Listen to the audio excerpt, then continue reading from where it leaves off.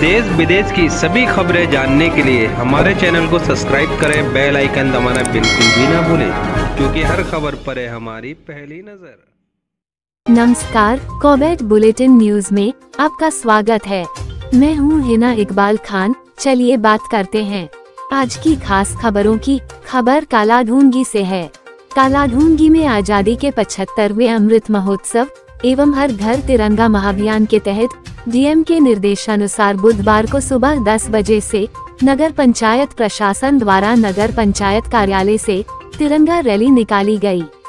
इसमें आगे नगर पंचायत के वरिष्ठ अधिकारी गण चले इसके पीछे सैकड़ों की संख्या में नगर पंचायत के सफ़ाई कामगार, महिला पुरुष भारत माता और वंदे मातरम के जयघोष के साथ अपने निर्धारित गणवेश में हाथों में तिरंगा लेकर सम्मिलित हुए यात्रा के दौरान नगर पंचायत के वरिष्ठ अधिकारियों ने राहगीरों और साथ प्रतिष्ठान संचालकों को भी झंडा वितरण कर अपनी दुकानों और घरों पर आवश्यक रूप से आगामी 11 से 17 तक राष्ट्रीय ध्वज लगाने हेतु आह्वान किया। इस अवसर पर यो प्रतिभा कोहली, बड़े बाबू गीता, लिपिक भोपाल बोरा, नवीन, सफ़ाई नायक महिपाल वाल्मीकि उपस्थित थे।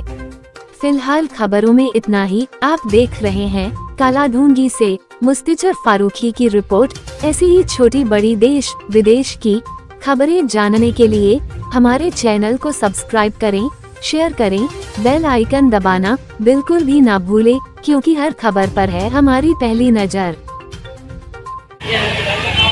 ये हर घर झंडा, जो तिरंगा कार्यक्रम चल रहा है, जिसके अंतर्गत हमें सभी घरों में तिरंगा फहराना है। आज़ादी के पिछहत्तर वर्ष पूर्ण होने के अवसर पर ये उसी के उपलक्ष्य में ये तिरंगा यात्रा निकाली जा रही है जिसके माध्यम से हम सभी मार्केट में हर घरों में तिरंगे का वितरण कर रहे हैं। नगर पंचायत ने कितने झंडे वितरण करने का लक्ष्य रखा है? हमारे यहाँ पे दो हज़ार का लक्ष्य है जिनको पूरा किया जा रहा है।